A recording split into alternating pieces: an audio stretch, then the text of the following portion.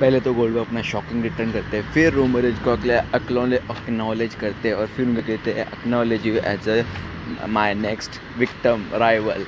और फिर उन्हें बोलते हैं कि Roman Reigns versus Goldberg in elimination chamber for the universal championship match